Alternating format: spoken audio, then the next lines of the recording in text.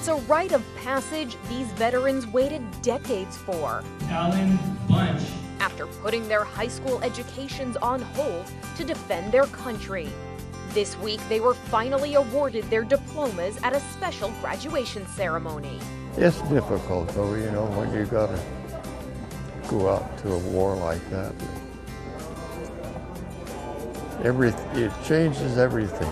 William Enoch Morgan waited 75 years to take his graduation march. He joined the Army to serve in World War II and was one of 10 veterans to be honored during Operation Recognition.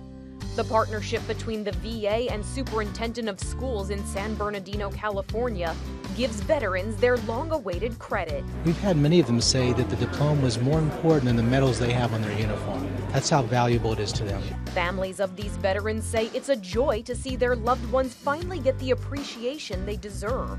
He's watched us graduate. It was, it was weird to see him graduate. But some of them might realize that their high school days weren't all they were cracked up to be. I told him that now that he got a diploma, and he's got to get a job and move out of his house. It's his house, but he's got to move out. For InsideEdition.com, I'm Mara Montalbano.